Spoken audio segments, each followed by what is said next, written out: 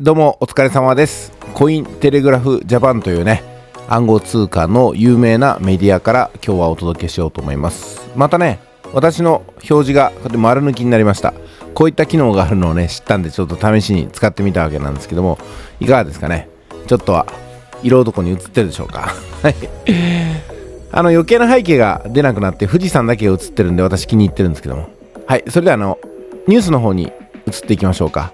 ビットコインの稼ぎ方、稼げる仕組みと初心者向けの稼ぎ方を紹介ということで、コインテレフグラフジャパンさんがね、ここまでビットコインを稼がしてくれるとは私知らなかったんですけども、ちょっと読んでみましょうか。えー仮想通貨で稼ぐ仕組みが知りたい。初心者でも仮想通貨で稼ぐ方法はあるの？ということですよね。仮想通貨で稼ぐことができる仕組みと具体的な仮想通貨の稼ぎ方っていうふうに解説があるわけですけども、本当でしょうかと。すでにここまで見出しだけが踊っていてですね実際にこれをやりましょうってものを匂わすところはないんですよ、まあ、これがね暗号通貨で稼げる系の情報発信の悪いところだと思うんですよ。具体的性がないんですよね。これをやったらこう稼げますよとか。で稼ぐってのはどういうことかっていうと基本的にはお金が減らないってことを前提として稼ぐですから、まあ、そうなってくると仮想通貨ってのはなくなることもありますんでね。うん。だから稼ぐっていう方法がイコールではないのかなというところは私たち情報を受け取る方があ解釈しなければいけないところかなと思います。でここで紹介されているのが仮想通貨の取引方法は現物取引かレバレッジ取引ということは、まあ、別に当たり前じゃないかと思いますよね。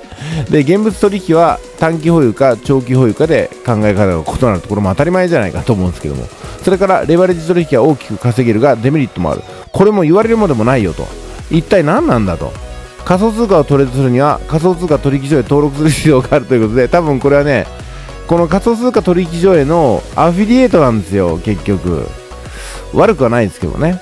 で国内でおすすめする取引所は主に楽天ウォレットコインチェックえ SBI バーチャルカレンシートレードの3つだよということ。でこの3つに登録しましょうっていう流れになってるんでしょうね。だから仮想通貨で稼ぐにはと言いながら仮想通貨のウォレットを登録をまずしましょうよという流れでできてるのかなと。これアフィリエイトの記事としてはちょっとねそんなに高いレベルじゃないと思いますよ。で楽天ウォレットで無料の口座開設をすると確かに無料で口座開設できるんですよ。よしこれから仮想通貨初心者として稼ぐぞっていう人のモチベーションが消えてないうちに口座登録させようってことでしょ。でも口座登録をすると登録に対する手数料がまあ数千円とか入るわけですよね。今いくらか分かんないですけどもそれから仮想通貨の稼ぎ方の種類別現物、レバレッジ、積立、レンディング、IEO、マイニング、アウトラージ、ショートということで、初心者の方はどれもね、できません。仮想通貨で稼ぐ方法は、私がお勧めするのはアフィリエイトです。まさにこの記事がやってることなんですよ。この記事と似たような記事を書いて、この誘導の URL を貼るってことがよろしいかと思います。つまり、誰一人取引しないのに、みんなが儲かる方法ですよ。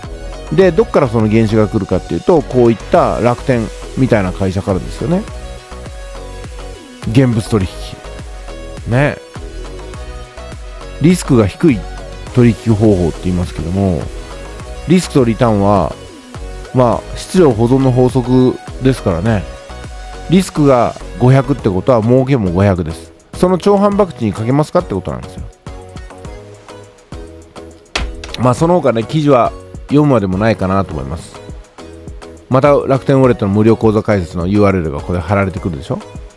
で読めば読むほどアフィリエイトに参加したくなるような記事の書き方ですよ。ね。はいまた出てきましたよ。だからこういう記事の書き方が稼げる方法なんですよ。つまりアフィリエイトしましょうってことです。アフィリエイトはね。そのためにアフィリエイトに融通するために記事が書いてあるわけですよマイニングなんてできませんよ。ほんと。相当詳しくないとアービトラージもできません。